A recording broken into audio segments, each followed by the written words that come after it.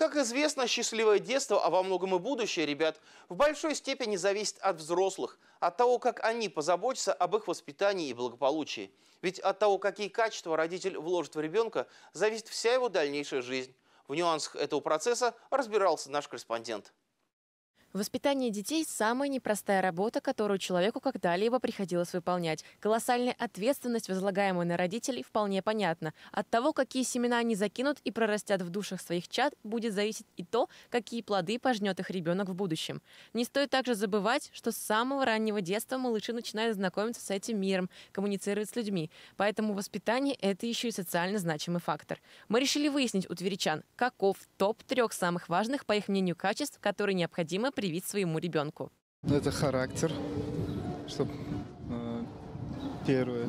Ну и само воспитание к старшим особенно. А то в Российской Федерации мало кто уважает взрослое поколение. Ну и третье, доброту, скорее всего. Надо быть добрым.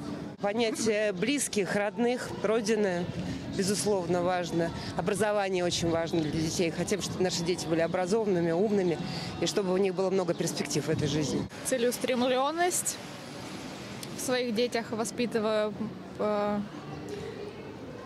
уважение к взрослым. Это обязательно. И, наверное, нужно воспитывать и в данный момент времени поддерживать нашу страну и чтобы все дети помнили нашу историю.